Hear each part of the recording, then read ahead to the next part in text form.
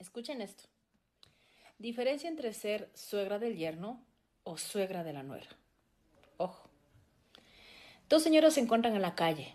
Chica, siglos sin verte. ¿Cómo tienes a tus hijos Rosa y Paco? Ay, querida, Rosa se casó muy bien. Tiene un marido maravilloso. Fíjate que se levanta de madrugada para cambiar los pañales al nieto.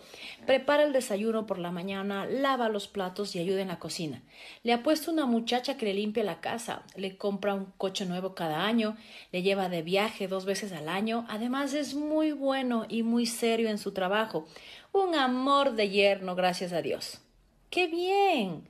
¿Y tu hijo Francisco también se casó? También se casó, pero tuvo muy mala suerte. Su matrimonio va muy mal. Imagínate que el pobre tiene que levantarse de madrugada para cambiar los pañales de mi nieto. Tiene que preparar el desayuno por la mañana, lavar los platos y encima ayudar en la cocina. Y después de todo esto, sale a trabajar para conseguir el sustento y pagarle una muchacha que le limpie la casa. Además, lo obliga para que salgan de viaje dos veces al año. Y lo peor, quiere coche nuevo cada año. Pobre hijo mío, se casó muy mal. ¿De qué lado estamos? Por eso es la importancia de que si tú te vas a empoderar, sea para ser feliz, pero sin hacer daño a nadie. A veces nosotros echamos la culpa mucho a los hombres, a veces decimos muchas cosas, o a veces decimos muchas cosas de las mujeres también.